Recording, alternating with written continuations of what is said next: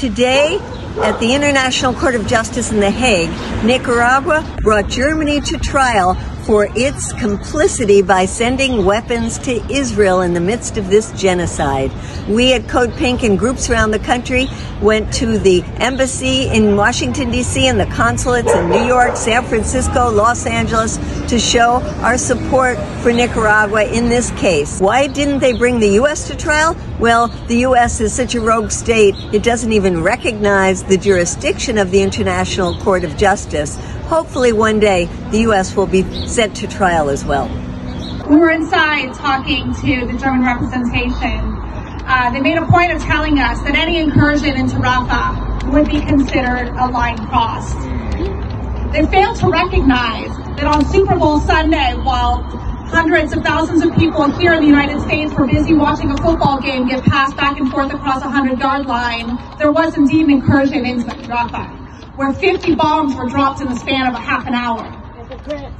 One and a half million people, that number ever growing, displaced, living in tents, living in the most unimaginable circumstances, continue to be assaulted, not just by air, but by land, and now the sea is also being turned against them. So when? When is that line too far? Because for the Germans, apparently, it has not happened yet. It fed a lot of formality, a lot of sense of there needs to be investigations.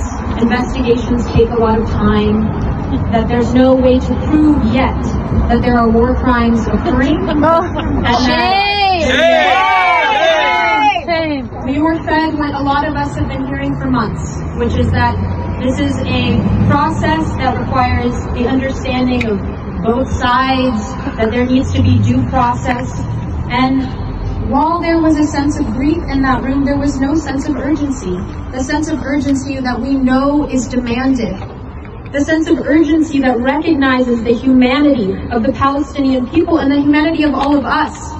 Where we have been here for six months begging for them to just stop war crimes, to stop targeting civilians, to stop using 2,000 pound bombs in one of the most densely populated cities on this planet, where most of the people we have watched slaughtered to date are children and women, and that is not to disregard the innocent young men the men, the grandparents who have all been killed, and now a population of people starving to death.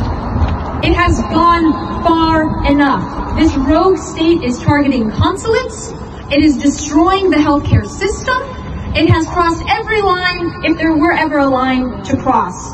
It also leads me to believe that they are in total support of what's going on, let alone that they are you know, they're, they're not just really defending Israel on, on this international criminal stage, but they're also backing them because we know that 70% or so of the weapons that Israel gets are from the U.S. here, and another almost 30% are received from Germany. Free, free Palestine! Free, free Palestine! Free, free Palestine! Free